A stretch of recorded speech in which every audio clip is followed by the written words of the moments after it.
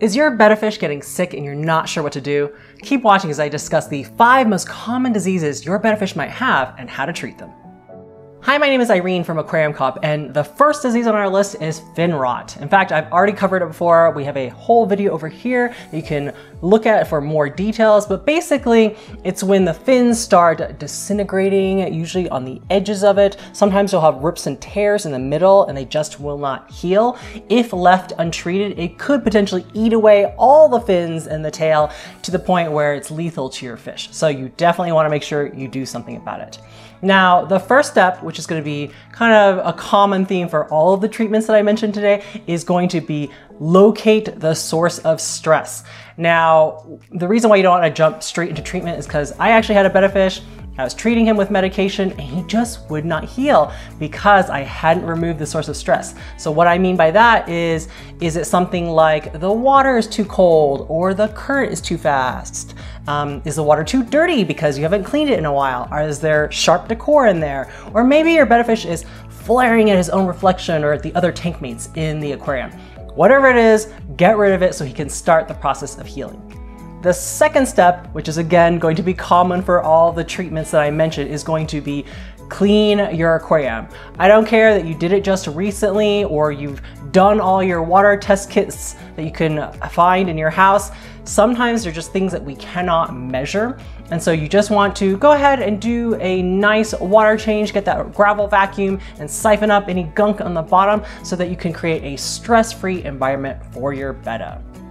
Now, because fin rot is often caused by a bacterial infection, we want to treat it with antibiotics. So this is uh, Fritz Mardel Maracyn, which contains an antibiotic called erythromycin. And you just want to follow the instructions on the back of the box where it says, dump one packet of powder per 10 gallons of water and then repeat for every 24 hours for five days in a row.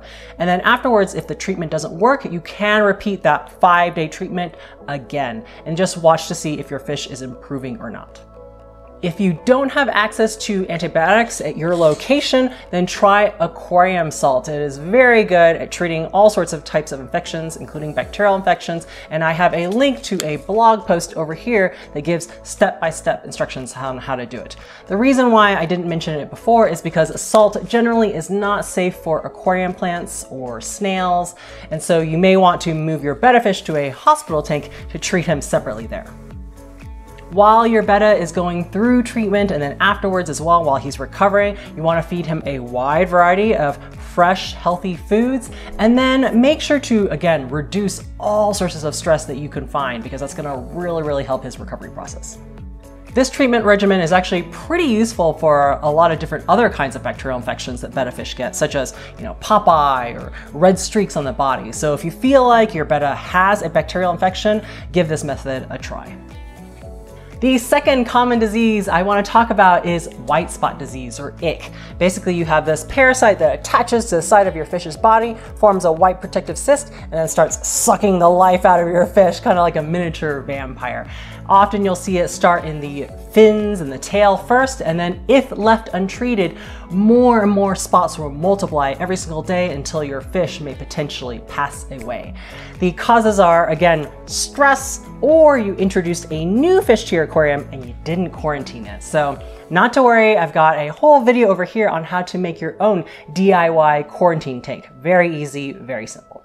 But as with before, the first step is to find and locate all sources of stress and remove them. Step two, clean the aquarium. Like I said before, go ahead and maintenance that filter, vacuum up all the gunk down below.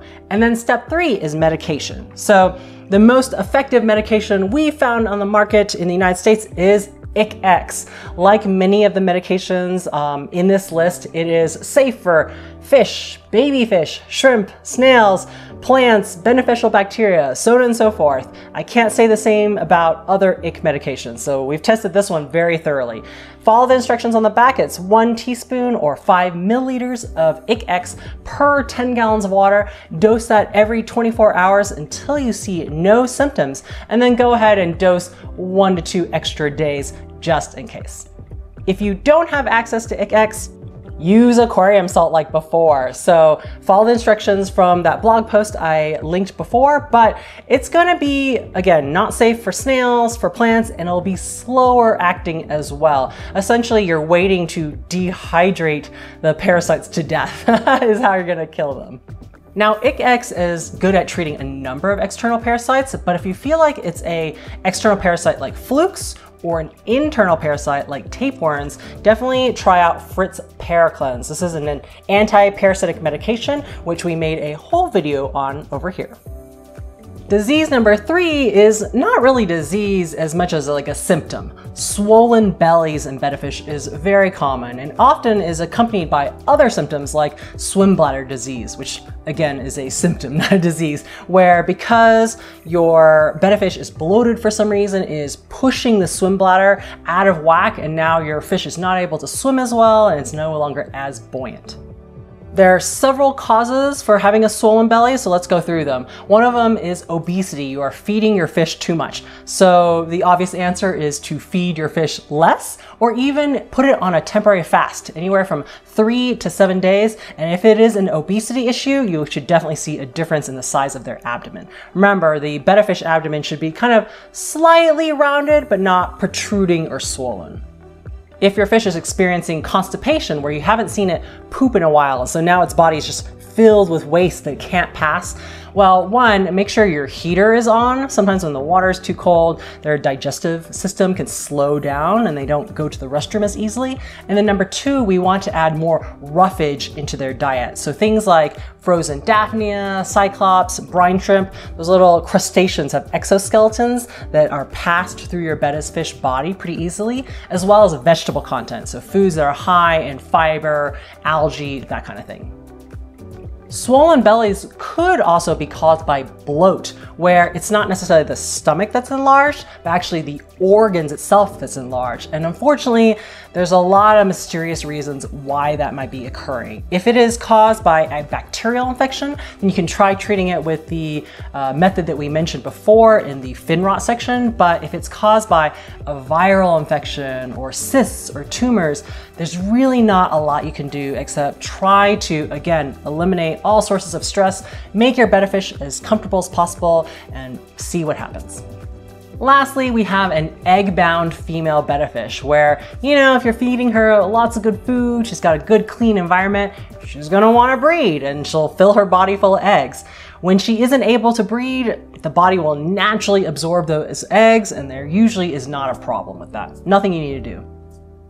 The fourth reason why your betta may not be doing well is poisoning. Maybe there is some kind of chemical in the water that is harming your fish, whether it's chlorine, ammonia, nitrite, nitrate, uh, pH burns, right? All of that would cause your fish's gills and body to start basically getting these chemical burns. And so the symptoms you may see include inflamed gills, gasping or rapid breathing. Maybe they're just lying down on the ground, not really moving because they're in so much pain.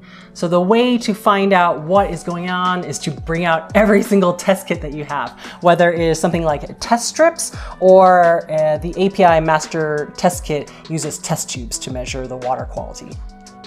Once you find out what the cause is, again, you're going to, number one, remove that source of stress by most likely, number two, doing a large water change to remove the presence of that chemical. And then after that, it's gonna have to be a wait and see approach to see how bad the damage is. So while they're recovering, keep that water quality high as usual, feed them lots of good foods, keep the stress level low, and hopefully they'll get better soon because their body is damaged and is now healing, a lot of times the immune system is compromised and a secondary infection may set in. So if it is a bacterial or parasitic infection, take a look at the previous sections I just mentioned, or if it's a fungal infection, that's what I'm gonna talk about next. Disease number five on the list is cottony growths on your betta fish, and that might be around the mouth area or more on the body and fins, and those have two different treatments. But I actually go into more detail over here on our fish fungus video. But the short and sweet of it is, again, number one, remove all sources of stress. Number two, clean the whole aquarium. If it is cottony growths around the mouth, most likely it's actually a bacterial infection, not fungus. And so in that case, we're gonna go back to our nifty Maracyn antibiotic and treat it according to the instructions on the back of the box. However, if it is a fungus that is attacking the body or the fins, in this case, we're gonna actually use two medications, Ich-X and Maracyn, because a lot of times the fungus will attack the body and make holes or wounds, and then bacterial comes in as a secondary infection. So in a minor case of it, you're gonna treat with one packet and one teaspoon of Ich-X for every 10 gallons of water. Let it soak in the water for seven days without doing any water changes and see if the symptoms get better. However, if it's a serious case of it and it's not responding to treatment, go ahead and do one packet of Maracyn and one teaspoon of Ich-X every 24 hours for five days in a row.